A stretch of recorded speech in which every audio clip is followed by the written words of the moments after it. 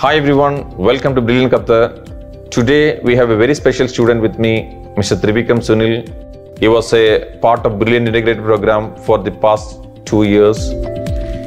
He's completed a grade 12 board exam and got selected to many top universities in the world with a ranking less than 50 for computer science and he has scored an amazing score of 1550 for SAT and got 95.2 percentage in the CBSE board examination and also cleared the JEE main examination.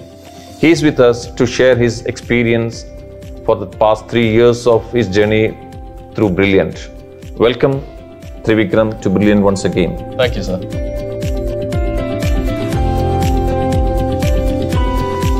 Trivikram, can you share your experience with Brilliant for the past three years? I think you started his journey with Brilliant in grade 10. Yeah, I did. Yes. I started my journey with Brilliant in uh, 10th grade, and once I finished 10th, I finished it with 95%. I decided that I really wanted to study abroad. My aim was the top universities for computer science abroad, so I joined the Brilliant Qatar integrated program. And uh, there I had the best teachers I could ask for, and all my all my academic needs were handled in the morning itself. So I had my CBSE preparation and SAT preparation all done in the morning, and I could focus all my time in the evening for uh, my extracurriculars, which really helped me in my ad- admission. And so I, I ended up like my academics were really good, so I got a s- score of 15, 15 SAT. 1550 out of 1600 it's an amazing score because hardly children get 1500 above again once again congratulate for you that one Thank you. Sir. and also you have an amazing score in grade 11 and grade 12 what is your score in cbse grade 12 I got 95.2% in grade 12. 12 okay so I got 97.6. okay so these two sat score and cbse board result help you to get into this one the top universities Yes. and one more thing which all universities are you got offer So I got offers from quite a few universities. In um, I I got I heard back from in Singapore. I heard back from Nanyang Technological University (NTU). NTU from Singapore. Yeah. Then and it's, it's one of like it's the top 10 in the world for computer science uh, NTU is the top 10 in the for computer science in the world. yeah Congratulations. And then and then i also heard back from waterloo which is very esteemed in the cs field yeah, and- Waterloo in Canada. yeah Okay. i also got a $10000 scholarship from university of british columbia Uh, British Columbia, you got selected and you have a scholarship of 10,000 US dollar. yeah. Congratulations again. and finally i'll be heading to the us for penn state university You decided to move to the us US and Penn State University for computer science. yes So that is the final decision. So, but you have offer from all this university, top ranked university.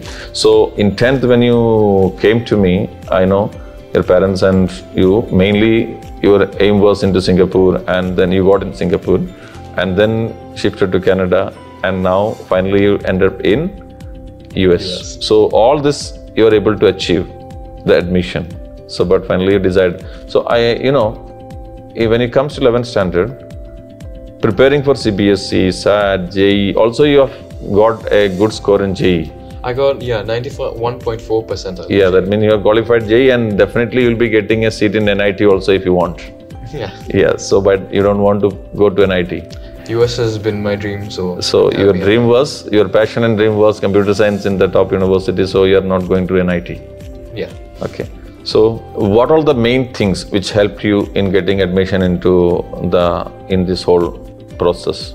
Okay, so one of the key things is academics, definitely, and Brilliant Qatar has done me a huge favor. I've had the best teachers. My academics were pretty much sorted with them. So, So you don't have any problem in achieving the CBSE or related things. no, actually, it was it was very helpful with them. Okay, okay. Then preparation for And obviously, it, it- with the foreign universities, extracurriculars are key. I mean, you could have all the academics in the world, and if you don't have extracurriculars, you won't get it. So the time in the evening, you, I had to use it for things I was interested in: public speaking, MUNs, and uh, things related to my field as well, computer science. I attended workshops and programming competitions, and, and some passion projects as well. I was also a TEDx speaker. a TEDx speaker. You have done TEDx speaker and you have done an award or mention in the MUN in Georgetown University many times. How many times? I think I've got uh, five honorable mentions. Uh, five honorable mention in MUN. So this all maybe helped you.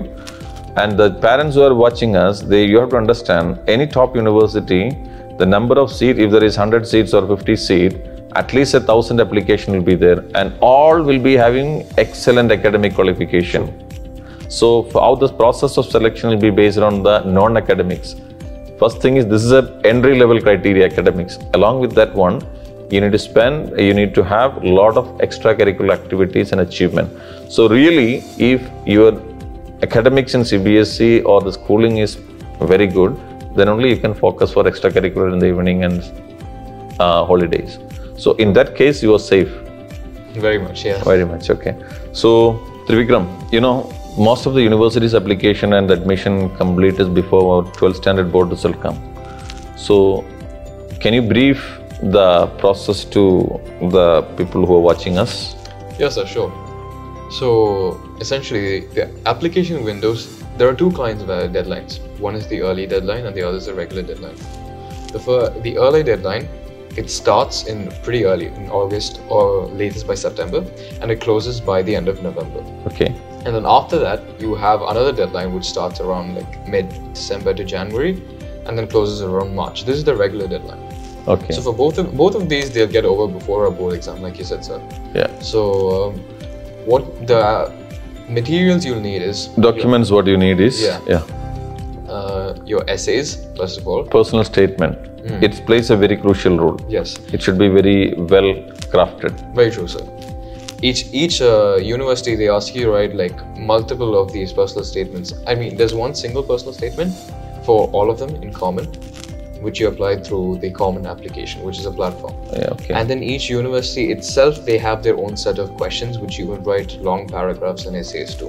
okay. It's all to gauge your personality, which is one thing that foreign universities really look for in your application.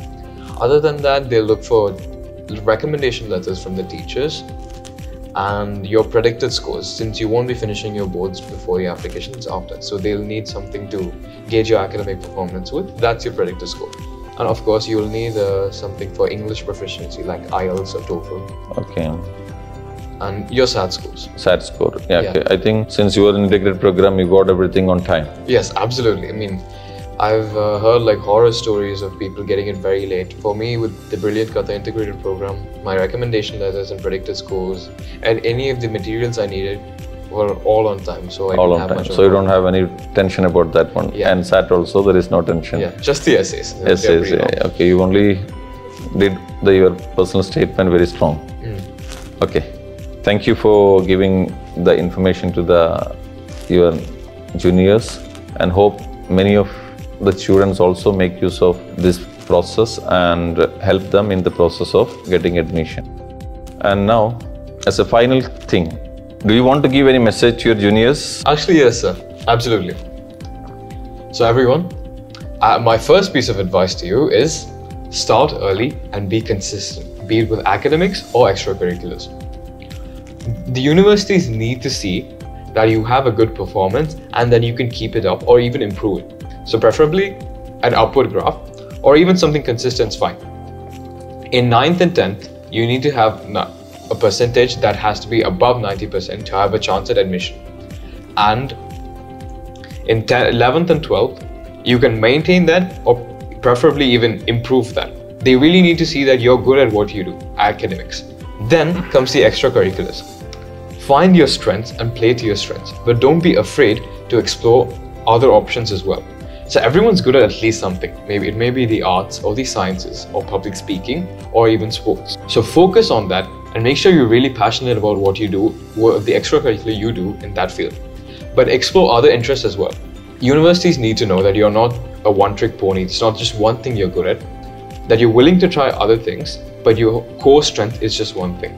That's what they want to see in an applicant. Applicant who can manage school and their interests side by side. If you start in just 11th or 12th, they know you're doing it just for, just for university and they can see right through your application. So start early. This is a good advice. You have to start early, maybe in grade 9, achieving or getting some certificate of curricular or curricular activities. Okay, that is a good, and uh, I think it will be very useful for the students who are right now in grade 9 and 10. Also in 11th. Okay, thank you very much, Trivikram, for coming and giving us this testimony and a piece of advice for our juniors of grade 9, 10, and 11, and 12. And wish you good luck and all the best. Thank, you. sir.